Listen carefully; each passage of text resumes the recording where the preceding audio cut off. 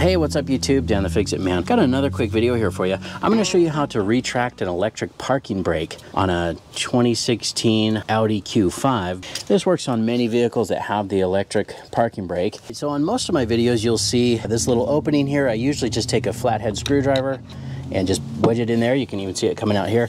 And then just pull on that, which pushes the caliper piston back inside the caliper and gives us enough room for the new pads.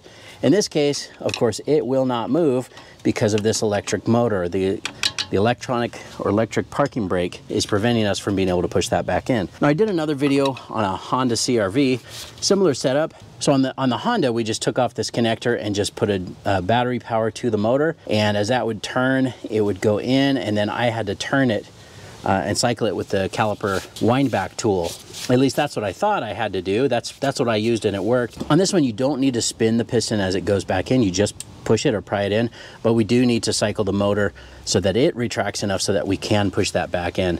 So here's our connector and this, this plastic is pretty brittle sometimes, but if you push in with your thumb, sometimes I'll also take a little hook, like a little hook tool like this, and get in underneath and just get behind the little piece of plastic right there and pop that off.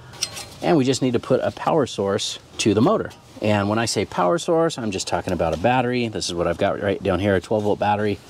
It's very easy to do. That's all you need, a battery and a couple jumpers.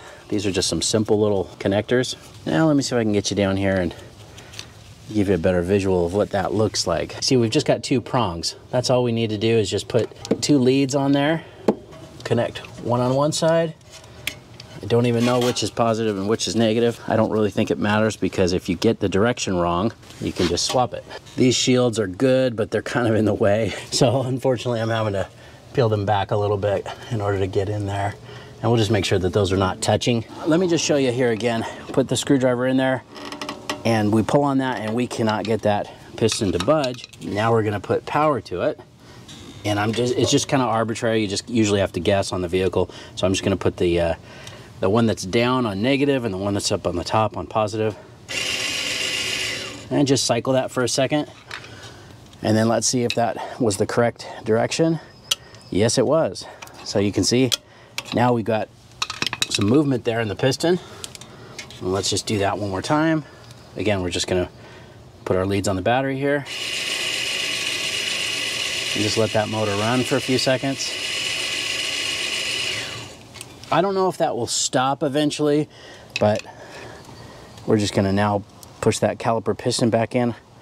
I usually like to do just a little at a time and then just pull on this screwdriver, you know, a little bit at a time just to make sure that you can get that pushed back all the way, at least enough to make room for the new pad material. Let's do a little bit more. All right, that should be good because we were almost there. The shim's kind of coming loose there, but well, see, my shim's loose, but that's okay. And you're done. I mean, that's how simple that is. That's all you need. A couple little connectors just make sure that you don't plug anything into this end to the car. You might get some error codes. I've also done this on the Honda CRV. I think that was a 2017, but there's a video on that as well. I've got the complete video, plus I have just that little video that shows how to retract the electronic parking brake. Hope you like the video. Please give it a thumbs up and subscribe if you don't mind. That does help me out. I'll get a link in the description to some of the parts and tools that I use as well.